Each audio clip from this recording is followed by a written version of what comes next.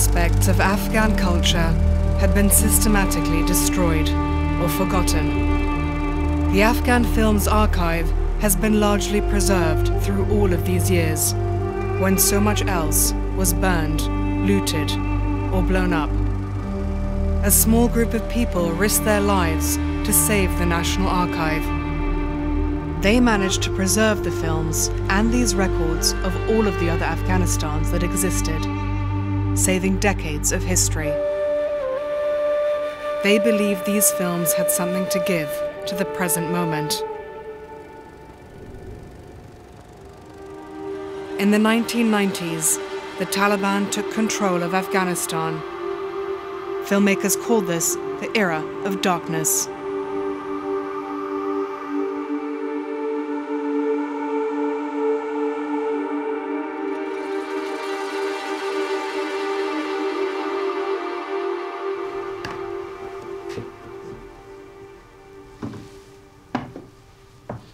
فوتیج های عکس های مجاهدینی است که از کندک اول مرکزی ما بودن. عامر صاحب می‌گفت که اینا سمنسوای آینده افغانستان هستن.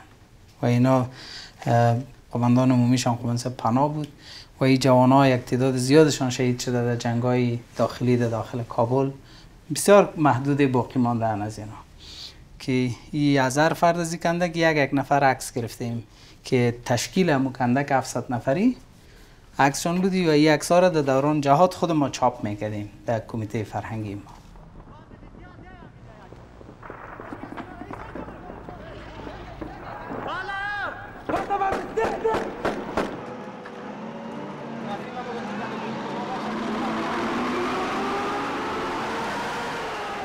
پیش از اینکه آغاز جنگ شد و هر لحظه یک انتظار بودی که چی میشه؟ تا وقت بسیار میلرزید دل آدم قلب آدم می‌زد تک تک باز وقتی که یک دفعه فرمان جنگ داده می‌شد باز وقت ترس از پیش آدم گم می‌شد دیروز خط خالی میشن آمد خب چشمت روشن تشکر چی نوشن آرام هستن اینه دق نشدن لوجم کسق میشه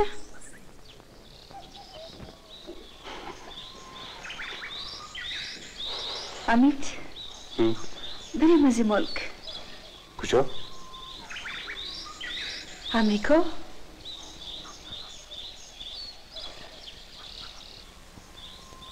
نرگس جان نرگس بخی بخی قربان جان که میریم. کجا؟ بخی بخی بیدار شو. آفرین.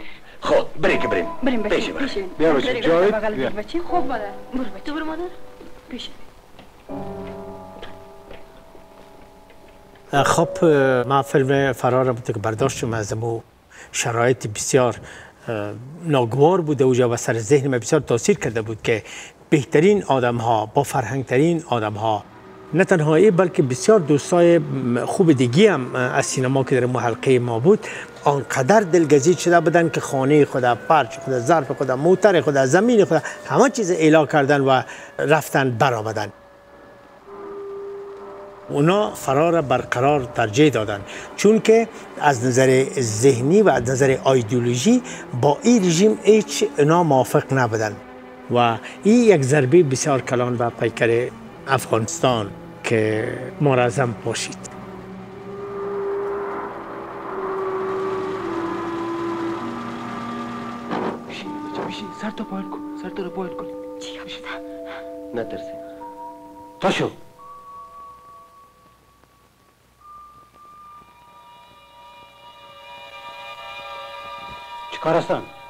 یک فامیل است نگروزن بالا شده کو خب یک مثال برتان بگویم که وقتی من فیلم فرار را ساختم و اوجا یک کمیسیون بسیار کلان آمد شرکت کردن و فیلم دیدن و مشاور عبداللهیوف مثل که یک بم کفید و استاد شد و گفت که شما هیچ در سینما نمی‌فهمین. این خیانت بزرگ است به روسیه و به افغانستان. چرا که یادم نشان داده که دولت افغانستان غیر از سرک قیر و سرک خامه هیچ مسلط نیست. هیچ حق نداره. در اوج کلگی مجاهدین هستند. و این فیلم نه ماه قید شد.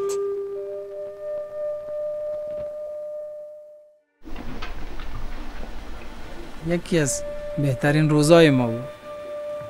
ما همیشه دی فکر بودیم که حالا شاید این تصویرها را فیلم برداری کنیم این صحنه امروز معرخ پنج سو شورای رهبری جهادی تشکیل جلسه فوقالعاده داده فیصله به عمل آورده. و گروه های مسلح قماندان احمد شاه مسعود وزیر دفاع حکومت اسلامی اطاعت نموده امنیت را در شهر و مراکز استراتژیک شهر کابل تامین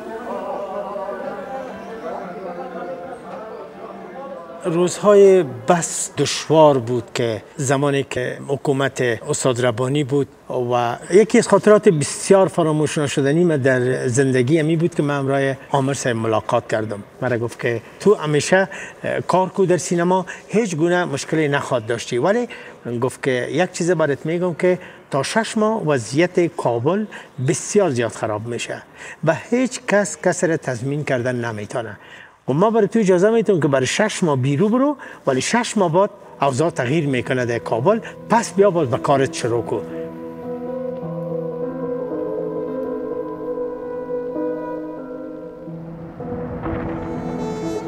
جنگ های تابستان وقتی شروع شد بسیاری از سینماگران مجبور شدن که از جمله انجینیر سب لطیف حتی مجبور شد افغان فیلم رها بکنه و گیبت مسکو رفت.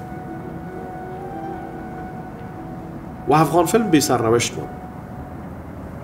سپتامبر 1992 به عنوان رئیس افغان فیلم موظف شد. ولی ما یک مقدار ناراحت بودم نگران بودم. مجاهدین بسیاری هایش مخالف سینما خواد بودن.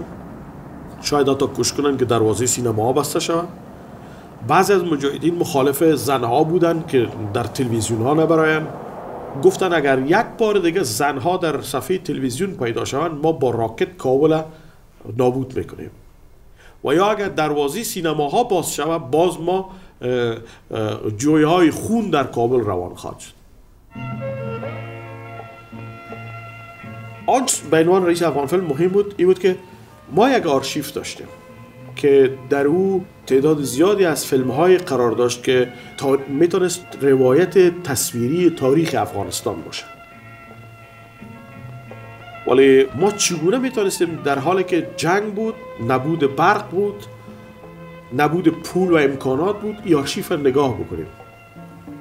و این کار شد خوشبختانه ما یک جنراتور خریدیم که روزانه حداقل می‌تونست هوای درون افغان فیلم سرد نگاه بکنه تا آرشیف از بین بره. و که زندگی سینما خاتمه پیدا نکنه با جنگ.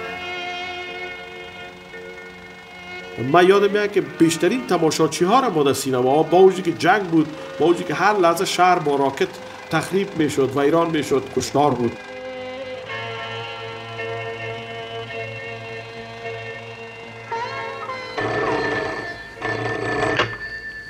بله؟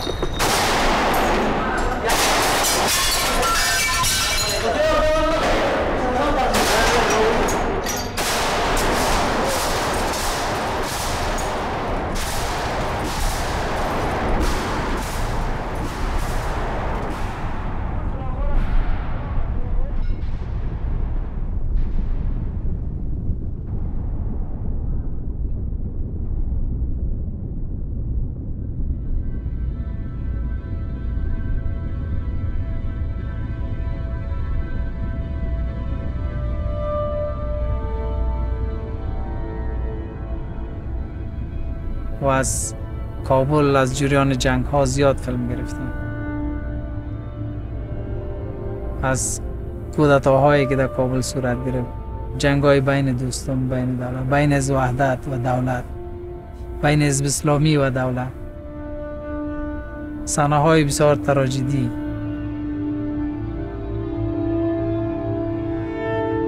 صحنه های بسیار تراژدی توانستیم که در محد توان خود فیلم برداری کنیم و تصویر بکشیم و ثبت تاریخ بسازیم.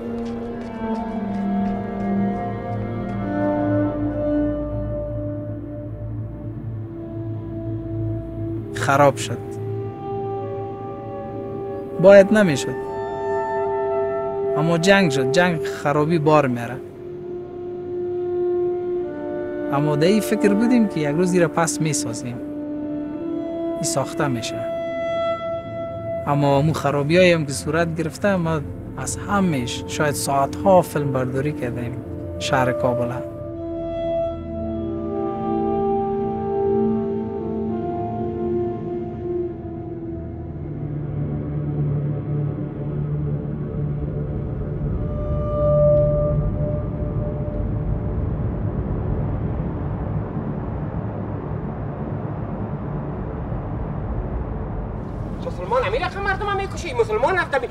نکشته بوده. از روس یا بدتر است. روس هم تو نیست. روس هم تو کار نمی‌کنه. جنگ ها به شکل بسیار بدش جریان داشت. در مجموع در پهلویش به خاطر از که بچه های افغان فیلم بتانن خودشان مصروف نگاه کنن پروژه از این ساختیم که از شهر کابل فیلم بگیرن.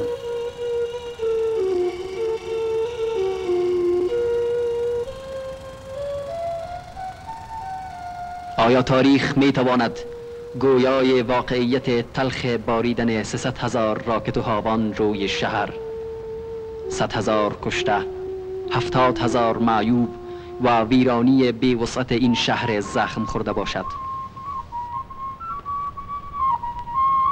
اینجا زیر سقف هر خانه روزگار مادران با رنج و درد فرزندانی را پرورانیدند که جانمایه افتخار سرزمین خود بودند. هزاران معلم، انجینیر، داکتر، حقوقدان، نویسنده، شاعر، اهل علم و هنر و فضل در این خانه هایی که امروز خالی اند بزرگ شدند.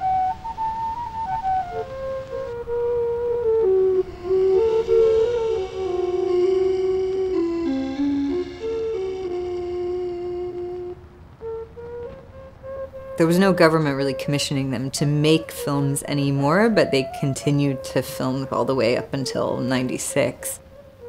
And at a certain point, I think their project became very personal, and that's what the House of History sort of represents. Is I think it's one of the most personal films in the Afghan Films Archive. It's really an essay film about the destruction of Kabul, and it sort of shifts about halfway through into a, a lament for the destruction of the Kabul Museum, the archaeological museum, and how it represents the destruction of all of these other histories of Afghanistan, all of the non Islamic histories. بیننده عزیز این تصاویر را به خاطر بسپار که جز این تصاویر و توده های خاک و خاکستر این هده چیزی در دست نیست با آنکه خاطره های خیانت و جنایت دهان را تلخ می کند اما واقعیت زمانه ما چنین است. داشتن آزادی چه بهای سنگین می خواهد چه قربانی عظیم طلب می کند. جهان در مرداب های سکوت از تو رو پوشانیده است. ولی این را بدان که بامداد نمی رسد تا از زخم های خود مشعل های فراراه آن روشن نکنیم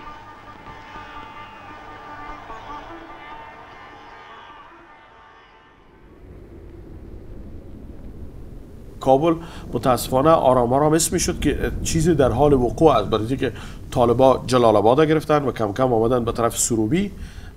ولی ما هنوز هم فکر می‌کردیم که شاید کابل مقاومت بکنه در مقابل طالبا ولی مسعود مجبور شد عقب نشینی کنه و من فکر کردم که چی اتفاق است چه قرار است اتفاق بفته تصمیم گرفتم که هر اتفاقی بفته کابل باشم. شهر کاملا فضای بسیار دراماتیک عجیب غریب را گرفته بود برای خود. من در کدام مرحله تاریخ قرار دارم؟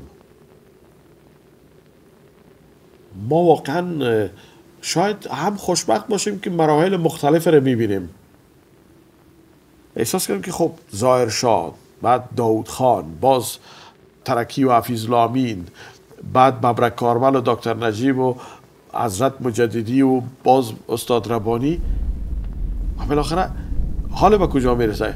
یعنی واقعا قرار است چیز بدبختتر از این هم اتفاق بفته در افغانستان؟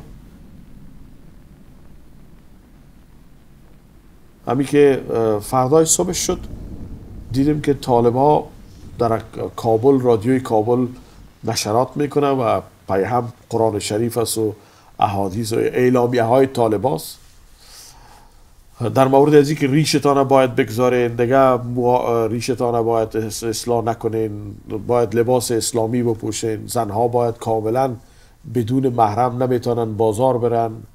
همه ای چیزایی بود که در رادیو پای هم تکرار می‌شد. ولی از همه مهمتر همین بود که خبر شدیم که دکتر نجیب اعدام کردن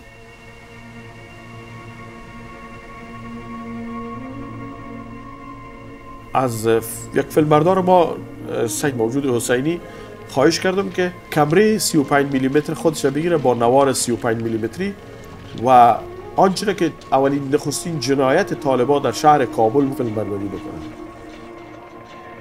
و او رفت من هم امرایش رفتم. همون لحظه دیدم که برادر دکتر نجیب اردوش به دار آویخته شده بودن. برای من بسیار تلخ و ناگوار بود. با وجودی که اختلافات شاید اختلافات ذهنی سیاسی زیادی داشتم ولی من هرگز قبول کردن نمی‌تونستم که یک رئیس جمهور یک کشور با با این شکل برخورد شد پدرم و دیگه همگی تصمیم داشتن که باید پنشیر بریم. از اینکه وضعیت خوب نیست و مجبور هستیم شهر رها کنیم. ما راست راستش حس عجیب غریبه برای من دست داده بود. چه اتفاق افتاد؟ آیا اولین جایی که با او شناخته که ما از تندروی ها و نگاه و دیدگاه های بسیار متعصبانه از اونا نسبت به تصویر و سینما و اینا داشتیم احساس می‌کردم که اگر بیای شاید افغان فیلم چور بکنن.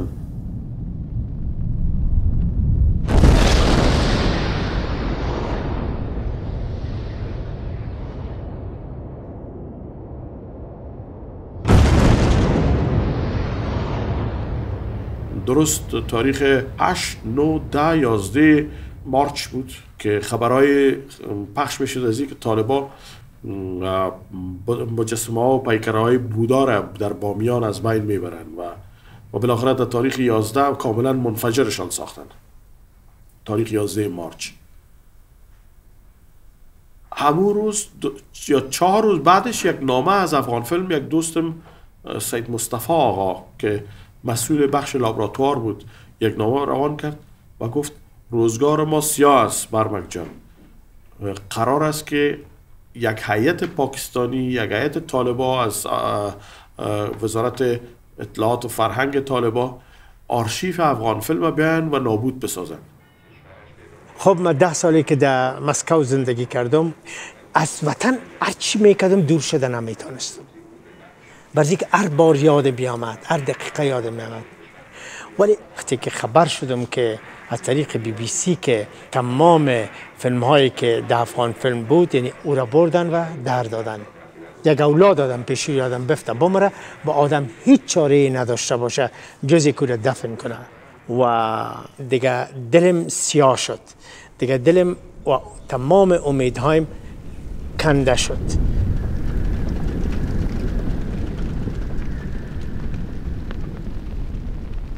حوادثی که اتفاق بعدا افتاد پر از رنج بود. و این که 9 سپتامبر عامر صاحب مسعود شهید شد و در اثر یک حمله انتحاری و یک سوی قصد به جان عامر بعد از او 11 سپتامبر اتفاق افتاد که در نیویورک اتفاق افتاد. هر دوی حادثه باعث شد که طالب ها محور چیز قرار بگیرن و مسئول تمام این جنایت ها شناخته شوند.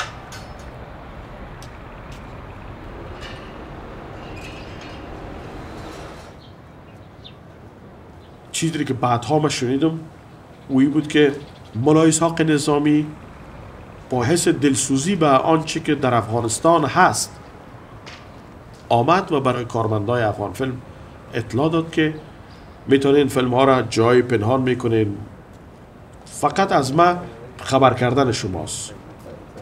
دیگه باقی کار باید شما بکنید.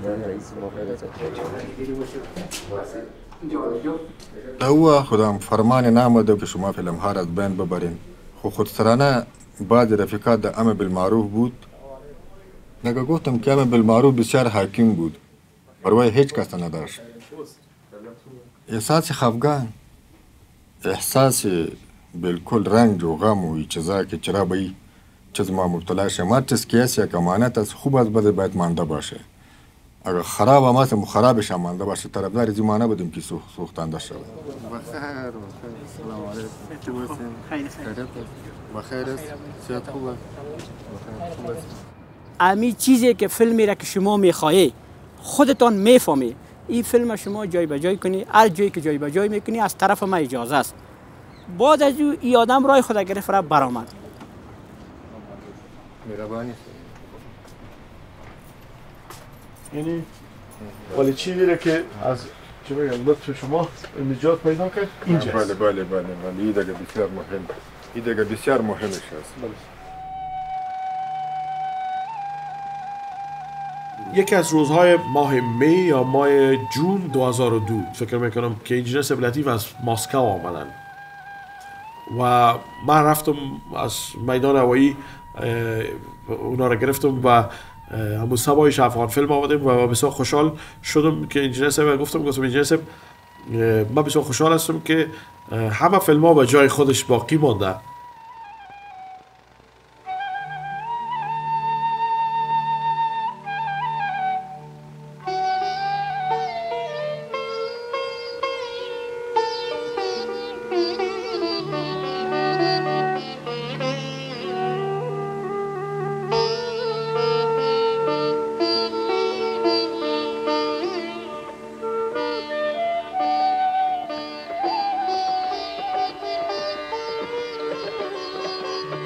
اولین قدمی را که من از مسکو آمدم به فیلم ماندم. عجیب یک احساسی برام دست داد که من تمام این فیلم ها را یک بار دیگه ریویو کردم.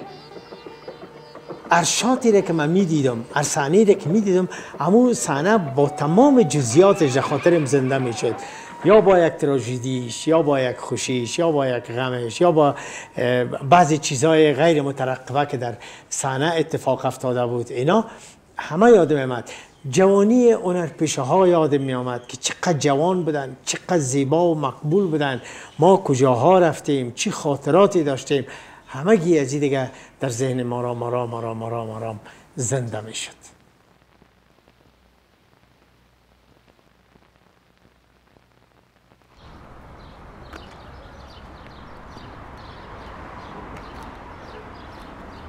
وطن ما از زیاد دوست داشتم. و حتی در شرایط دشوارترش تانسته بودم زندگی بکنم. ولی بالاخره مجبور شدم برای حفظ جان خودم و اولاد خودم و همسرم ترک بکنم. و شاید بتونم در فرانسه بتونم دوباره به کارهایم برسم و بتونم از این جمع صدای سینمای افغانستان رو بیرون بکشم. هر جایی باشیم بالاخره حتما درد درد درد سرزمین خود ما را قصه خواد کرده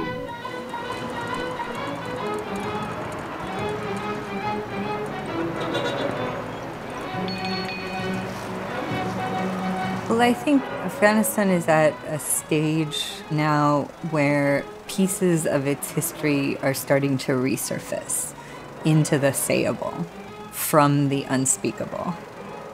When you're coming out of a period of intense conflict, there are parts of the past that are untouchable. And then gradually, gradually, gradually, they become things that you can look at and speak about again But I think, you know, archives are incredibly important for that reason because in an archive, you sort of can seal off these histories uh, and, and keep them until the moment when it's safe to look at them again. تو چون باغ گل و من بوی و رنگت لا لا لا لا لا نگارم نیست جان دلم به تا قرارم نیست. بلوط کو و ناجوهای جنگل جان دلم به تو قرار